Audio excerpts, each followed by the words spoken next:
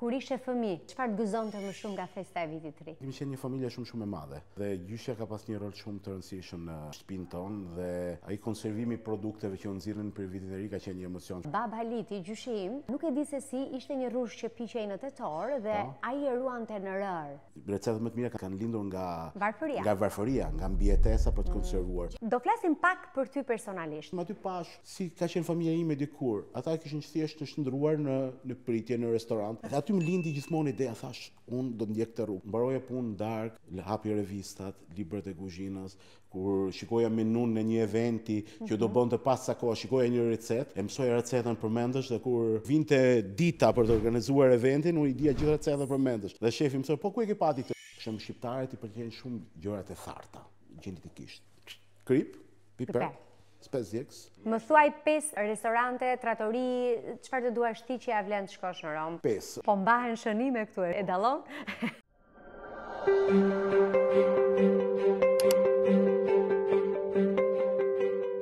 Mirë se të gjeta Fundim Gjepali. Faleminderit për ftesën, Mira, dhe kënaqësi. Fundim, pse e ke të tillë emrin? Je i fundit i fëmijëve apo? Jo, në në Shijak ka disa që kemi të njëjtin emër. Besoj që ka qenë një modë e viteve 80, fillim viteve 80, por unë jam dhe i fundit nga pesë fëmijët dhe besoj Bën sens. Bën sens kjo gjë dhe dëgjo, jam shumë i kënaqur me këtë emër sepse është unik, s'para përdoret shumë në në Shqipëri Po këtu në zonën tonë është përdorur edhe nëse shikojmë me syrin modern bën kuriozitet. Pse kështu? Nuk jemi shumë fëmijë, po pesë. Besoj që në ato kohë ishte normale të kishe pesë fëmijë. Kur ishe fëmijë, çfarë të bënte më shumë përshtypje, çfarë të gëzonte më shumë nga festa e vitit të ri? Ne kemi kemi qenë një familje shumë shumë e madhe. Mhm. Dhe gjyshja ka pas një rol shumë të rëndësishëm në në shtëpinë tonë dhe ai konservimi i produkteve që u nxirrnin për vitin e ri ka qenë një emocion shumë i mirë. Ajo ka qenë një zonjë shumë e nderuar dhe u kujdeste për gjithë ne, porse kishte shumë nipa. Dhe ato gjëra që konservonte gjatë vitit, gjëra që i thante tek baçja, produktet që ruante, ato mishin që e vente konservonte me me me krip, Dhe shumë gjëra, ki ka pas një magazinë që kishim tek shtëpia, tek shtëpia e vjetër dhe kishte plot gjëra. Dhe ajo ishte emocionuese, po, edhe ishin disa gjëra që mezi prisja për për t'i hëngër, po edhe gatimet që u bënin gjatë festave për kohën kur isha i vogël ishte një emocion e vërtetë. Dhe ajo i njëjti emocion më shoqëron dhe tani që do gatuaj vetë. Më ndërmende gjyshin tani për shembull më kujtohet që bab Haliti, gjyshi im, po. nuk e di se si ishte një rrush që piqej në tetor dhe po. ai e ruante në rërë. Edhe mbaj mend, e kam thjesht si imazh që duhej shumë kohë për ta larë, se kishte shumë rërë dhe rrushi reziston. Nuk e di se rezistonte në atë kohë, po. Jo, atëherë, unë besoj që marrëdhënia me ushqimin në ato vite, në fund fare ka qenë një mbijetesë në ato kohë. Çdo rezultat edhe e kuzhinave të huaja perëndimore, recetat më të mira kanë kanë lindur nga varfëria. Nga varfëria, nga mbijetesa për të mm. konservuar. Gjeli me përshesh duhet të jetë një recetë e varfërisë. Përsheshi, përsheshi është bukë. Buka, buka e tepruar e thatë dhe me lëngun e gjelit që u zbutej dhe krijonte atë Shijen e mirë. Dhe abundant, dhe shumicë, ishte një vakt më i bollshëm. Po, të ngopte. Për të, për të, për të ngopur. Dhe të thuash, për shembull, babai im më thoshte gjithmonë që kur ishte i vogël, ai për, përdonin shumë, për shembull, pjeprat, shalqirin, dhe i konservonin tek bari, tek mullari barit. Po, edhe aty. I mbulonin, i mbulonin dhe këto arrinin deri në tek festat e, e Vitit të Ri. Këtë gjë pak a shumë duhet të ketë bërë dhe gjyshi po, im atëherë. Po kjo duhet të ketë qenë një po, po. diçka që tani mhm. për shumë gjëra për sigurinë ushqimore, për gjithë shumë gjëra tjera nuk bëhen më, sepse kemi metoda tjera, jo serat, jo atmosfera po. e kontrolluar. Edhe pse duket sikur po kthehemi pak tek ku kemi qenë. Po, absolutisht. Gjithçka po ndodh vetëm të kthehemi dhe një herë atje. Neve na ka ndodh gati një fatkeqësi, përveç pjesës që ka qenë ajo e mbylljes në komunizëm, s'e, pa mhm. bërë një gjykim si ka qenë i mirë a i keq komunizmi, po i mbylljes së shqiptarit e trurit shqiptar, po që ne kemi braktisur kulturën tonë. Kemi snobuar të kaluarën tonë. E trishtë. E, po e paguajmë sot. Dhe po e paguajmë. Kemi gati shfarosur identitetin tonë kulinar, mikpritjen, tek dizajni, arkitektura, dhe janë këto gjëra që kush na viziton në këto kohë të bumit turistik, Ne nuk kemi aq shumë gjëra për t'i për t'i treguar, sepse këto 30 vite ne jemi përqendruar tek kuzhinat e huaja, tek jashtë shtetit, jashtë shtetit, si jashtë shtetit. Gjithçka dhe dhe tani jemi kompleksuar nga vetja jonë për fat të keq. Dhe tani shumica e hoteleri-turizmit, e gjithë fushës së mikpritjes është detyruar të kthejë kokën jashtë sepse është një kërkesë e turistëve. Ne kur shkojmë në Itali, na pëlqejnë gjërat nga italianët. Për shembull, unë kur shoh tani së fundmi një indian që po bën një picë, nuk dua të dukem paragjykuese, por nuk është se më pëlqen shumë, nuk ma ngroh zemrën. Dua të shoh atë italianin që flet bukur, që vjen, komplimenton, të sjell atë picën apo atë karbonarën. Normale, kjo është një rezultat i globalizimit, i globalizimit dhe dihet kjo kjo e burimeve njerëzore tashmë kuzhinat, pritja është një një punë që të kërkon shumë mund.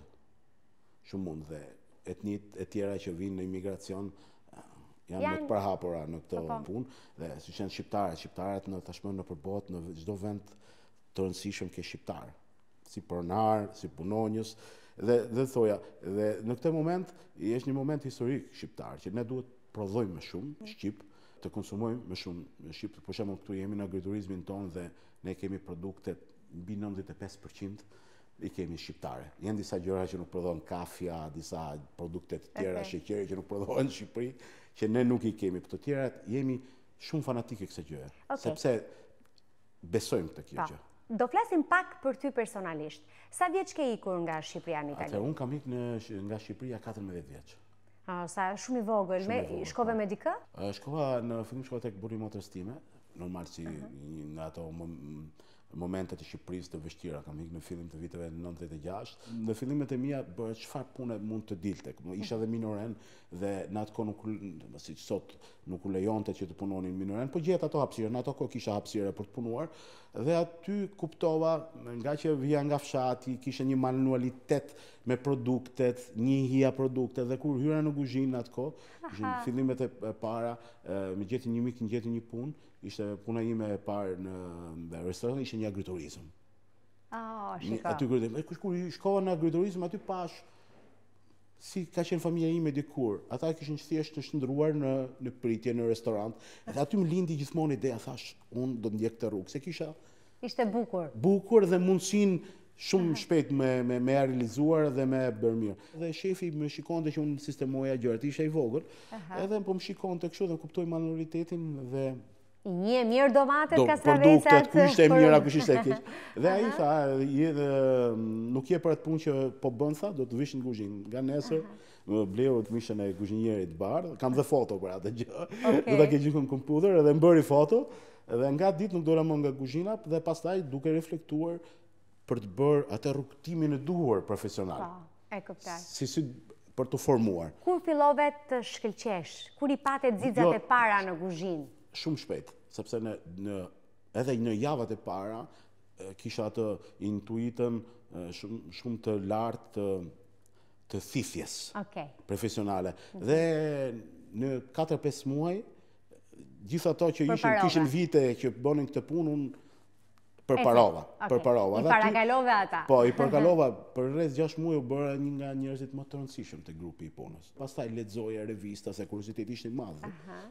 Kurse italianët kishin gjithë mirëqenien e tyre, kolegët e mi italianë, nuk e kishin eturinë, siç e kisha, unë mbaroja punë në darkë, hapja revistat, librat e kuzhinës, kur shikoja menunë e një eventi që do mhm. bëhej pas sa kohë, shikoja një recetë, e mësoja recetën përmendësh dhe kur dhe kur vinte dita për të organizuar eventin, unë i dija gjithë recetën përmendësh. Dhe shefi më thoshte, "Po ku e ke parë ti këtë?" Thosha, "Kam lexuar librin, më thoshte, "Mo s'ka mundësi." Pjata e parë që të ka pëlqyer shumë kur e ke bërë dhe, po ndërkohë të pëlqente dhe ty, disa pjata të Italisë në atë kohë që të bënin përshtypje, jo, jo. si një djalë që kishe ardhur nga fshati, nga Shqipria. Jo, unë uh, gjëja që më bëri përshtypje në ato fillimet e mia ishin uh, produktet e varfra që ato i jepnin një rëndësi aq të madhe, po, po ishin shumë, shumë të shijshme, është një barishte që quhet puntarelle në Romë, uh -huh. është si një punë, uh, çikorje, rrap që lind dhe spontan, po edhe tani në kohët moderne është dhe e mbjellë. Mhm. Ajo u marinonte me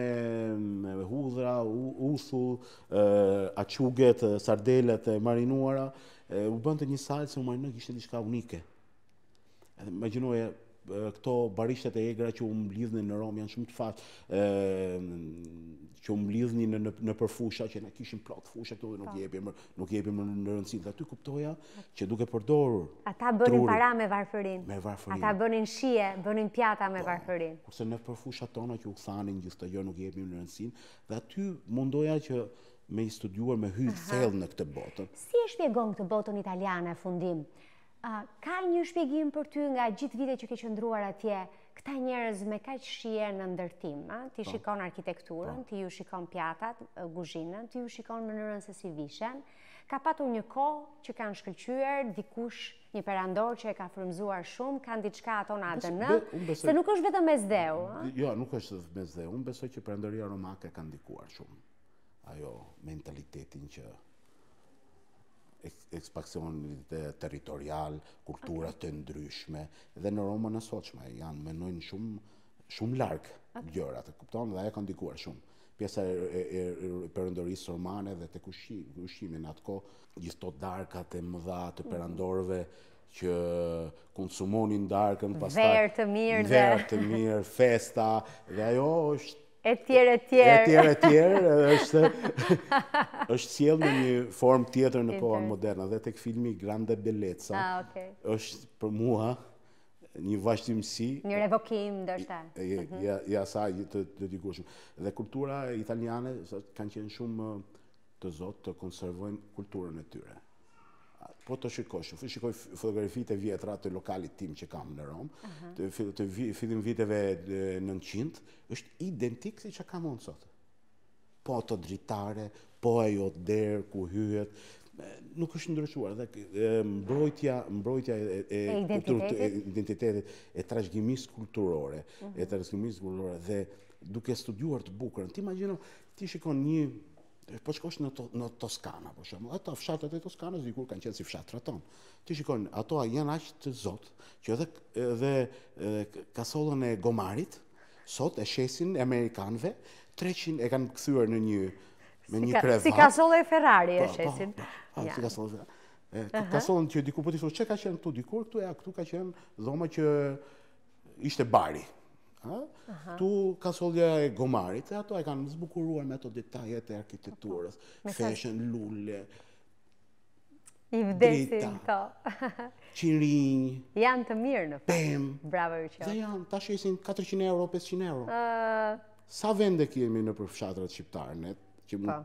Mund t'i promovojmë mirë, të kurohet territori, Shija, tjeti shija. pa, shija. Më mirë të dish se të kesh, e ka thënë populli. Dhe ato e kanë ku- e- dhe e kanë mbrojtur shumë trashëgiminë e tyre kulturore dhe tani po e shesin. Unë nuk kam qenë asnjëherë tek eh, L'Antico Arco, Arco, që në Romë, punon, po. që është restoranti që je shefi i kuzhinës i famshëm në në Romë dhe do doja të kisha ardhur, nuk e Po, di do të pse vish, nuk do do të të vish, vish se s'bën një ditë. Tani do më thuash një gjë sinqerisht. Pjata që bën atje dhe pjata që bën në Tiranë janë e njëjta shije dhe ku janë më të mira? Jo, nuk janë, janë disa gjëra që janë pak a shumë e njëjta shije, po unë besoj shumë, besoj që dhe është kështu, që ka ndryshime nga një lagje në tjetrën të Romës të konsumatorit, tek shijet, dhe imagjino nga një shtet në shtetin tjetër.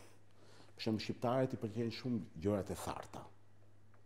gjenetikisht shqiptari çdo gjë dhe pa e provuar fare se sa krip ka, sa piper, sa spec të zi, pa provu pjatën, t'i çon pjatën përpara, jo gjithë të flasim, mm -hmm. po mundësisht dhe krip, piper, spec djegës, mundësisht edhe sa të shikojnë peshkun dhe pak limon, ky ka qenë mentaliteti i jonë i dikurshëm.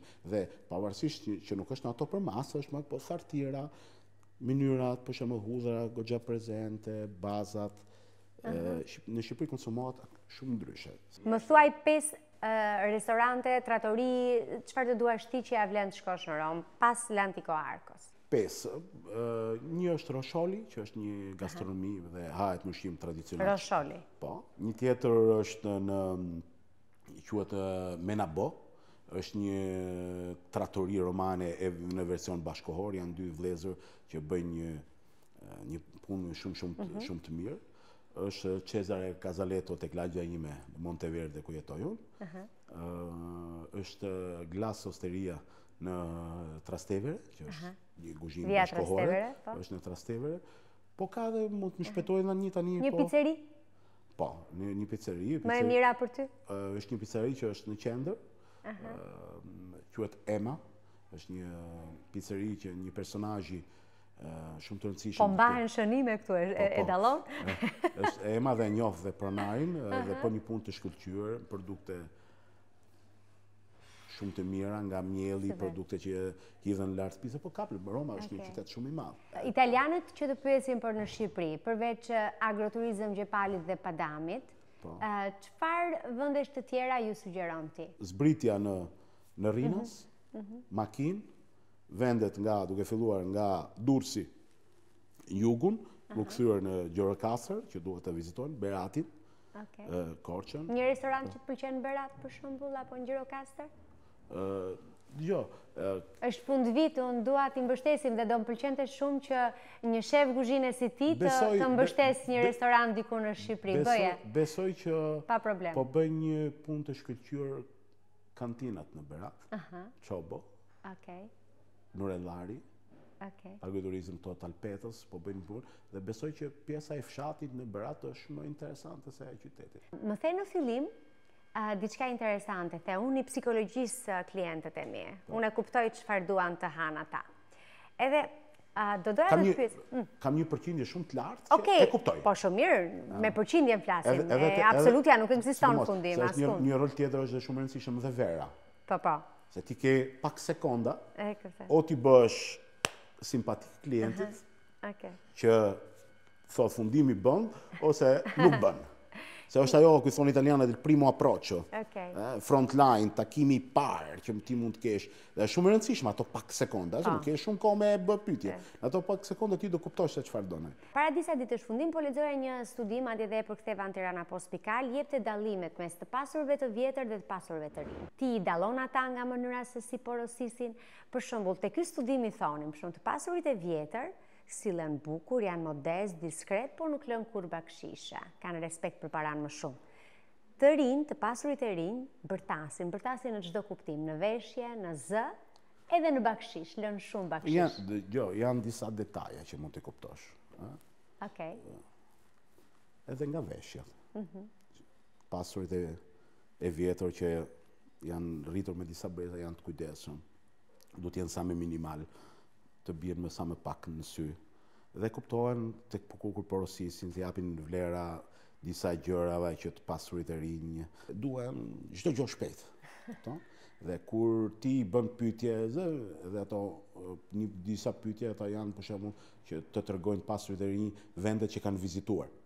Okej. Okay. Që janë ato që evitohen nga të pasurit e vjetër. Okej. Okay. Më më të kujdesshëm tek pijet. Mhm. Tek varietet, tek pijet për shembull tek verat. Pasurit e e vjetër shkojnë tek pijet verat më më elegante pinot noir ndonjë syrah pak më të lehtë më elegante kurse me pasurit e rinj shkojnë tek pijet më më me zë me emra më konkret të dëgjuar siç janë tek veshjet mm -hmm. Dhe ti kupton shumë gjë që që që mund të konsumosh, se ti imagjinon lokalet që thotë ai çfarë tendence dhe kush i krijon ata pse i ka krijuar. Dhe është ke lokalet e tjera që janë trashëgimi kulturore të çfarë të them që shkohet aty sepse është një recetë që bëhet nga kaq vite ose ëh. Fundim, më the që në Itali ka një ndërgjegjësim dhe ndryshim të stilit të ushqyerit të ngrënit, po shkohet shumë tek perimet, po ka më shumë të rinj që janë vegan. Çfarë dallon kur vjen në Tiranë nga mënyra se si porosisin? Edhe këtu ka një ndërgjegjësim shumë jo, për mënyrën se si hahet. Unë besoj që me mënyrën se si kam punuar këto gjithë këto vite, kam qenë kam qenë nga më afër si termometër për të kuptuar këto, mhm. këto ndryshime konsumizmi. Unë besoj që këto tendencat janë një ndërgjegje shpirtërore, nuk është se influencohesh nga televizioni o nga persona të caktuar. Kur fillon njeriu me kuptuar me qenë më i kujdesshëm për shëndetin, ku mund të ketë ndonjë problem, ndonjë gjë, për shembull, një nga produktet që ne bëjmë shaka gjithmonë, janë legumet, fasulet, në perëndim t'i këshëllojnë shumë që për t'i konsumuar. Por t'i bësh diçka me fasule këtu, nuk pranohet. O, ditën e hënë gjithmonë fasule tek mami dhe mua më pëlqejnë shumë jo, fasulet, jo, nuk më pëlqejnë fare thjerëzat fundim. Si e shpjegon? Pavarësisht në Itali thjerëzat sjellin lek thonë. E di, po. sjellin fat dhe bëhen janë dhe një nga pjatat e vitit të ri. Po. Meqë shkuam te pjatat e vitit të ri. Ke disa pjata që ti ke kështu si fatsjellëse, për shembull në shtëpinë tonë mami gjithmonë na ka hapur një shegë. Thjesht jo. sepse kemi... Edhe unë nuk e kam perseptuar jo. njëherë këtë gjë, por jo nuk nuk kam këto gjërat, po nuk e di këto frutat e e vjeshtës mua më japin një një mirësi shpirtërore. Mandarinat, po, portokajtë, shegët, hurmat, të bukura. Hurmi për shembull për mua është një një frut shumë shumë i rëndësishëm sepse tek shtëpia e vjetër që kishim ka qenë mbjellë me hurma në kohë të komunizmit dhe i shikoja këto Kjo ngjyrë fantastike, ato hurmat që rrinin në fund fare të pemës, është një ngjyrë që mua më shoqëron gjithmonë dhe më jep një farë adrenaline të krijimtaria. Në fakt te menu, nuk mungojnë asnjëherë te menutë e mia të fundvitit hurmat. Do ta bëjmë një gjellë bashkë. Ha, bukur, bukur. Na sollën, na sollën nga një gotë verë stafi. Gëzuar Mira. Gëzuar fundim, të uroj shumë suksese. Faleminderit që e mbyllëm bashkë me me bereqet këtë fundvit. Gëzuar dhe gjithë ndjekësve të podcast e paçi shend e verë. Gëzuar dhe sa më mbarë.